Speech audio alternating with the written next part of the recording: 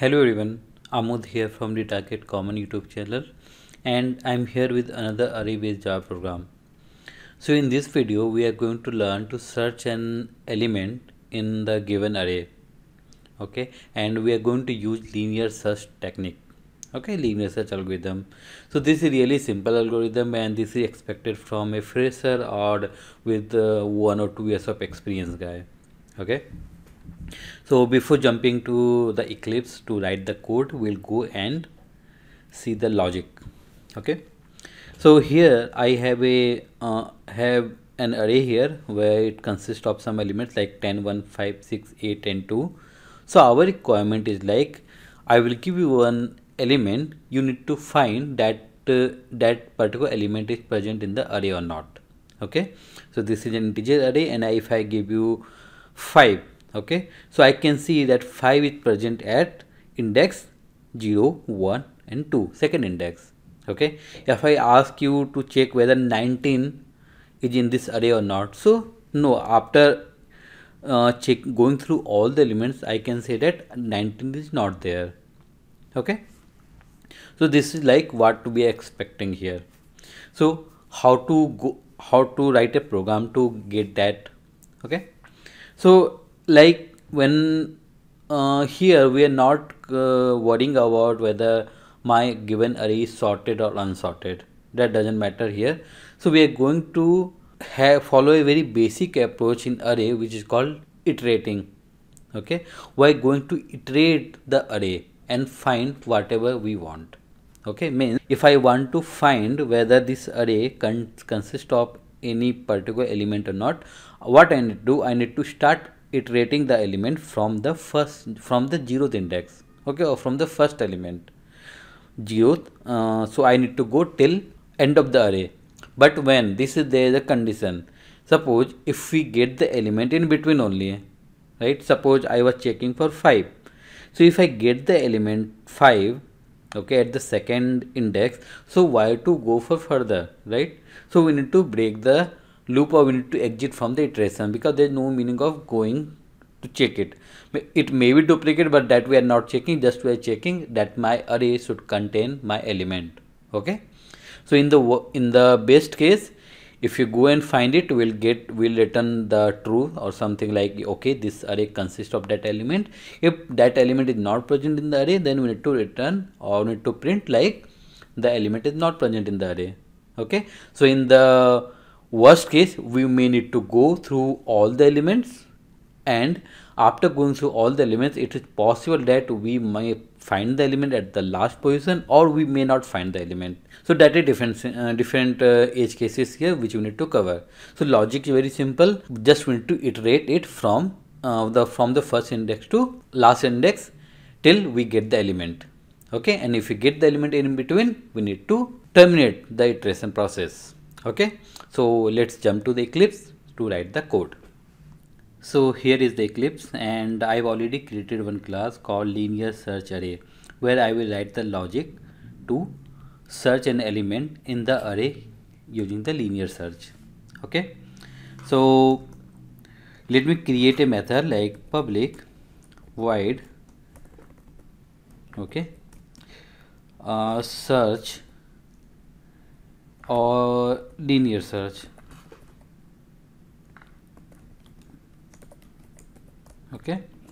So i will pa i will use i will call this method in my main function so let me pass the parameters.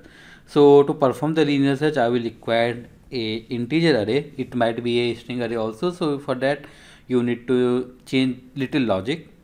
But like suppose we will have array okay? You can push the pull uh, put the square brackets and int element element to be searched. Okay? Name nomenclature should be always good so that you can easily identify. Okay? So i require two things only. I need the integer array and i need element to be searched. Okay? So we know that we need to iterate the array okay so you can use either the traditional for loop or uh, advanced for loop okay for each. So anything is fine. So let me uh, use the traditional for loop here. Int i equal to 0 then i less than I need to go till last element of the array in the worst case right? So I need to go and use the maximum thing that is array dot length okay? Then i plus plus. Okay. So I need to pick the first index element then second then third. Then what I need to do? I first pick the element of uh, a of an index then match with or compare with your element to be searched. Okay? So what I'll do? If array of index double equal element to be searched so here I am using integer array so I am using double equal. But if it is string then you can use the equals method. Okay? So if if this condition is satisfied means we have found the element. Okay? In the array. So what I can do I will have a flag. Okay? Boolean flag. And I will initialize it as false. Okay so once this condition is satisfied it means that we have found the element in the array. In this case what I'll do I will put flag equal to true. Okay? Once you found the element in the array so there is no meaning of continuing the iteration. So what i need to do i need to terminate the loop terminate the for loop. Okay? So for that i will use the break statement okay? Break statement. Okay? So only one logic i required after completing this for loop i should print whether i found the element or not. Okay? And uh, how i'll get to know whether element is found or not using this flag. Okay? If if after this for loop if the flag value remains false that that means we didn't find the element but if the flag values becomes true okay that means we found the element. So let me print sys out. Or uh, like the logic if flag okay if flag okay. So there's no need to put any comparison here because it's already boolean so you can directly pass it okay so one thing what mistake i did here i declared it a local variable. So i cannot use this outside of for loop. So for that uh, what i need to do i need to declare and initialize it outside of this for loop. Okay? So here i am putting it. So if flag equal to true okay element found okay else sys out.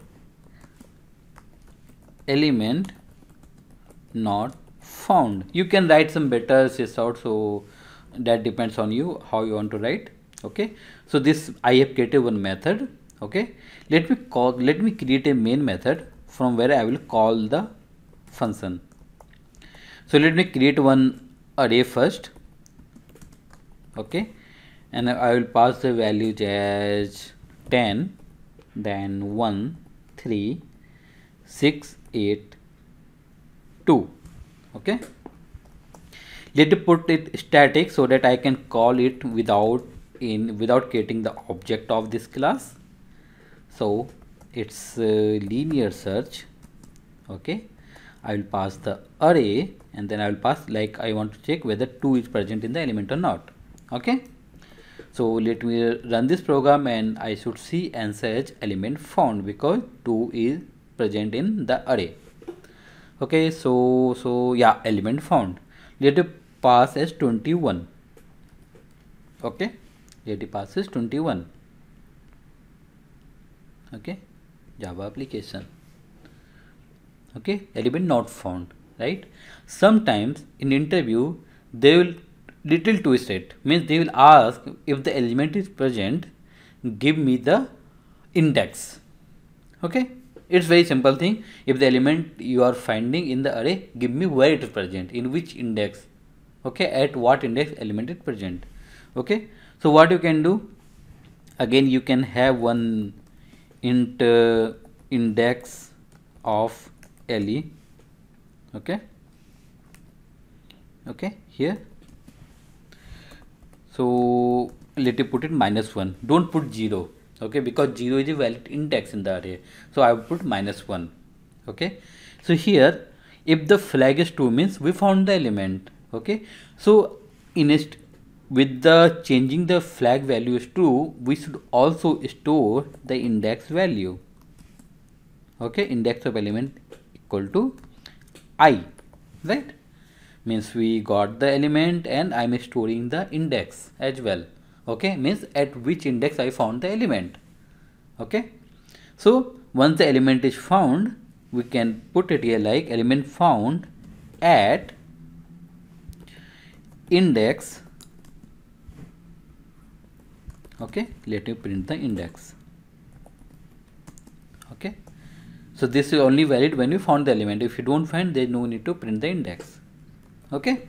So let me run this program and i should see the proper answer?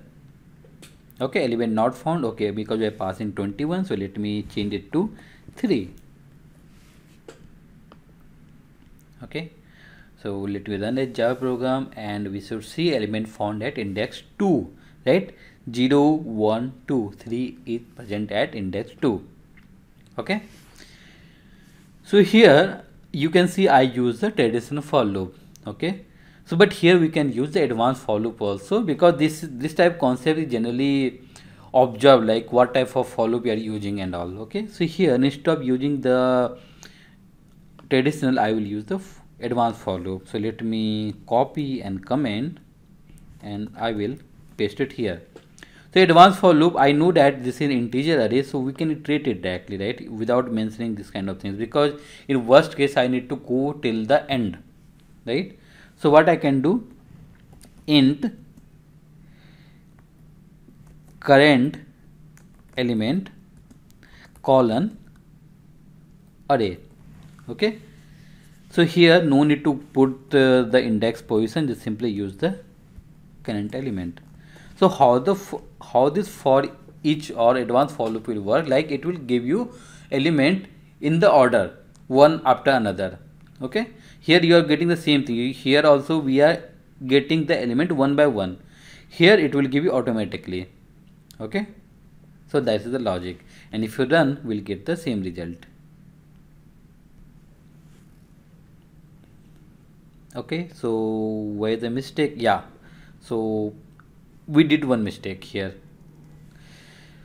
So here this index I am not keeping in the I am not keeping the track of index. That's why it is failing here. Okay it is giving the comparison error because I is not present. So if you're using this for advanced for loop okay and you also want to print the index then it is you then you cannot actually uh, get the index here. Okay so if you want to print the index as well so go with the traditional for loop. If you don't care about the index you just care about the uh, elements then go for the uh, for each or advanced for loop. So uh, both the logic you can see like when you can go for normal and when you can go for advanced for loop. Okay? So let's talk about the time complexity and space complexity as well. Okay? So if you see here uh, when you start the searching for an element in the array right? So that, that is possible like it might be present at the first position itself right? That is possible. In that case this is called base uh, scenario okay? Base scenario. If you found the element uh, at the beginning so you just need to do one iteration one uh, comparison here okay? So, so in that case your let me go through let me go to the here and I will type it here. Okay? So in case of base in in case of uh, based okay? Based case okay?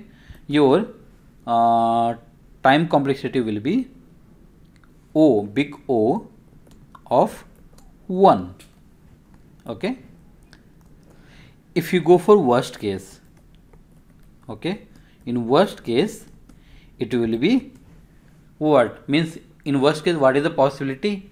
You may find your element at the last of the array or you may not find the element at all. So that is worst case. You need to go through all the n elements. Okay? Then also you are not sure whether you will find or not. So that is worst case. And in that case your um, complexity complexity will be o big o of n okay? So there is one average case also so in that case also it will be big o of n okay? Means if the element is fuzzy in between okay? But generally we should remember base case and worst case okay? And then we have space complexity okay? So this we talked about the time complexity here okay? So let me put here time complexity okay? Then let me talk about the space complexity. Okay? So if here you see we don't require any extra memory location. Okay? We are not doing any shifting. We are not uh, what you call that? Uh, swapping the element. We are doing nothing here right? So there's no extra element and say no extra memory is needed here. So in this case my the uh, my the space complexity will be big o big o of n okay? Because whatever we have the elements and elements so n is the length of the array here okay? So uh, it, the space complexity will be big O of n okay? So that's all in this video. If you have any doubt please comment on this video. And if you want me to cover any specific programming question you can comment or you can send out a mail to me so thank you everyone